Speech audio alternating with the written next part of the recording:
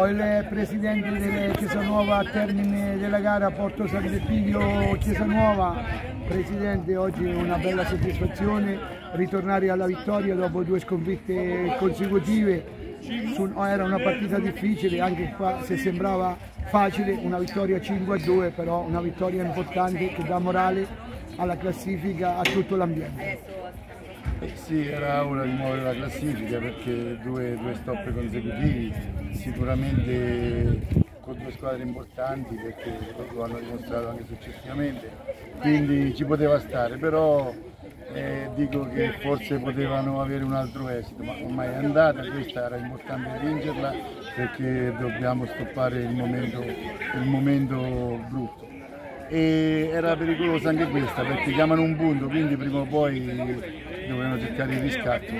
Però l'abbiamo approcciata bene siamo, nel primo tempo abbiamo fatto il massimo quindi dopo ha preso una, una direzione diciamo in discesa comunque niente non dobbiamo mollare niente a nove partite abbiamo 12 punti.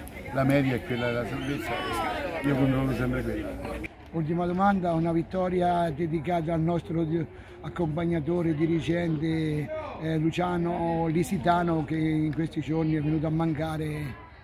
Eh sì, purtroppo ogni tanto la, la società è fatta di tante persone e ogni tanto ci sono queste brutte sorprese. Qualche anno fa, a fine di una partita, tu ti ricordi il nostro massaggiatore.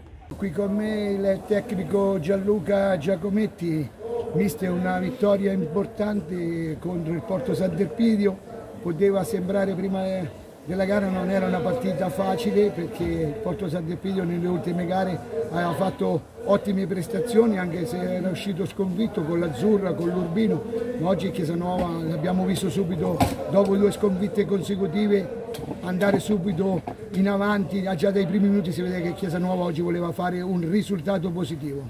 Sì, sì, abbiamo avuto una buona partenza quello che dovevamo fare. E siamo partiti determinati a cercare la vittoria a tutti i costi oggi. E I ragazzi sono stati bravi poi abbiamo avuto delle disattenzioni che hanno portato a quell'eurogol di Russo del primo tempo che ha saltato 6-7 persone e quelle cose che non dobbiamo fare perché poi basta pochissimo per riaprire una partita. Fortunatamente poi siamo stati bravi a richiuderla immediatamente poi il secondo tempo l'abbiamo un po' gestito